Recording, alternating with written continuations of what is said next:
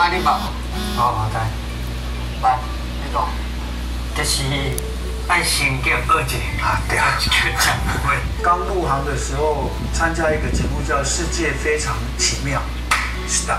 那那时候我是新人嘛，然后都会问一些题目嘛，问题大家都答不出来嘛，然后就有一个有一个老先生就在那边讲答案，啊，叫做皮带啦，皮带啦，皮带就皮带这样。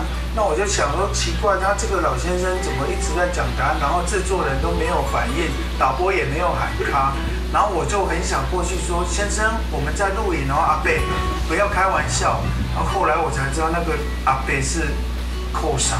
我就把我爸爸妈妈都找来他的办公室，跟他一起拎咖啡啊。他就讲了一句话，他对着对着我的爸爸妈妈说：“我跟你讲，你这个查某囝哦，不水啦。”我爸我妈两个人面面相觑，两这样互看了一下，还好后来寇长补了一句话，就说：“暗哥吼，有狼缘呐。”哇，好险他补了这句话。但是他来探班呢，哦，他其实算是严格。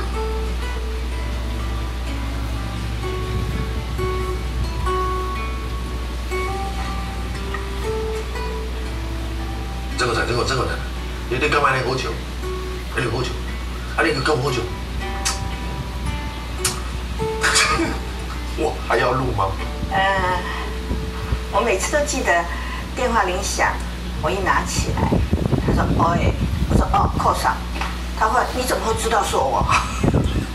第一电话会显示，第二扣上的声音大概只有他有。扣上是个好奇宝宝，相信在座的很多都接过他半夜的电话，在问你：你现在好吗？你最近在做什么？啊，那个事情是为什么会这样？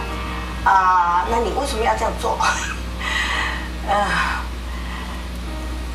其实我应该说，电子圈里面只会有一个扩上，扩上我们很想念。扣场是我入行以来，啊、